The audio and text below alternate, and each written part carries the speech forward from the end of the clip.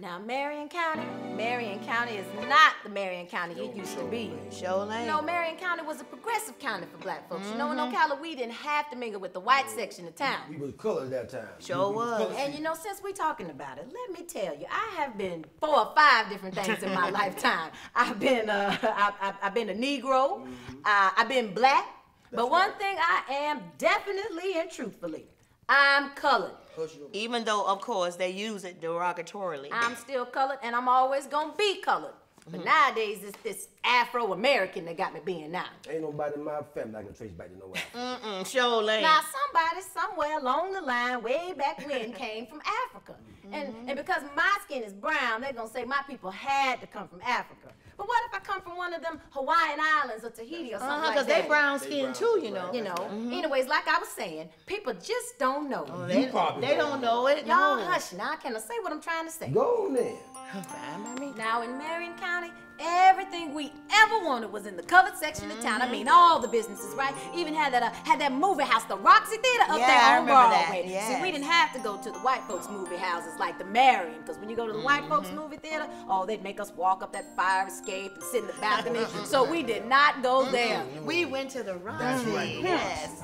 Now on Saturdays. You know when I was going to school there, they had a colored bank.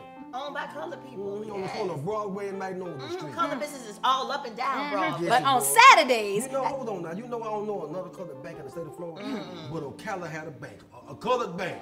Black owned businesses all up and down Yes, it Broadway. was. on Saturdays, you could find everybody shopping up on Broadway. Yeah, and all the colored people in Marion County knew each uh, other. Everybody knew everybody. Yes, we did. Y'all done? As I was saying, not just the whole county, but people from Ocala and everybody would be coming into town. I mean, everybody would be up there on Broadway. I am not joking. All up in Yeah. the middle of the street having, having a good time. Yeah. And Gainesville had was had it going on too. Mm-hmm. If we would go up on the bricks on Fifth Avenue and Pleasant Mm-hmm. Street, that was the place to be. Seminary Lane. Remember, remember, remember Sarah McKnight's place, her mom's kitchen in, in uh, uh, Wabash Hall? And they had the Rose Theater. I remember going there as a child. It's not like that anymore. No, sure ain't. Nobody knows anybody anymore because it's not the same. Colored folk done changed.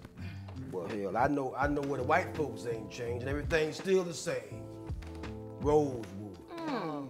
Now, before y'all came here to Marion County, how was it out there in Rosewood? Lord, We had some pretty rough times down mm, there. I'm sure we did. Sometimes the, the fellas, will- they'll go out there and uh, they'll, they'll shoot deer or something like that. They'll skin it and leave it in the middle of the road. We have to go around or whatever. And they put rats and stuff in our mailboxes.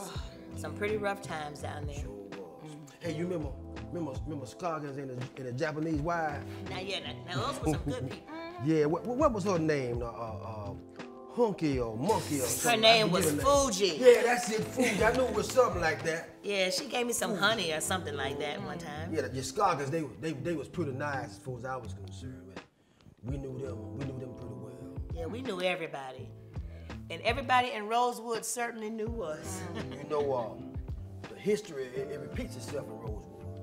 Hmm, now, what you mean by history repeats itself? I mean, everybody knows what it means, but what do you mean by it? In 19 and 23, when all the commotion started in Rosewood, when they started chasing all the people of color away, mm, The Rosewood Massacre. Mm-hmm. The only first people of color to move back in the Rosewood after that was Chase started in 2003, seven days before Christmas. The 18th of December 2003. I remember it because it was my grandbaby's birthday. You see, in um, 1977, I, I talked to Jim King about buying some about buying some land. I was looking for about about five acres where I could raise some hogs and some chickens where I won't be be, be bothering nobody. He took me up to Rosewood. I ain't I ain't know nothing about no Rosewood. Never even heard of the place. So uh, we went up there and uh, we came in. Not the road I usually take to get to his house, but it was, another road to come in from, from the back way. He brought me in there, and we went in and on both sides of the road, but nothing but palmetto trees. And palmetto palms, they're beautiful. Yeah, 40 acres of palmetto trees. 40 acres and Yeah. $400 an acre. I Yes. said, nah, nah, son. No, no. All I need is five acres. But he looked at it. Yeah. I wasn't, I wasn't gonna buy it. We get to, we get to his office and I say, uh, about them 40 acres. Will you take 300 acres for it? He said, nah, nah, nah. I, I can't I can't do that. Oh, but Mr. Kane came back and he said, "Can you give me five hundred dollars down?" I had 3,500 in my, in my pocket. so I, I said, uh, will you take a check? An out-of-state check? so I wrote him a $500 check on the bank of Washington, D.C. for them 40 acres. In Rosewood. That's right. Not knowing. Not knowing nothing at all. Not knowing. You heard, you heard the saying 40 acres? 40 acres in a mule? That's right. 40 acres and a mule. In Rosewood. Yes, I did. I had 40 acres and a mule. But uh, what I found out was the property I bought once belonged to colored people.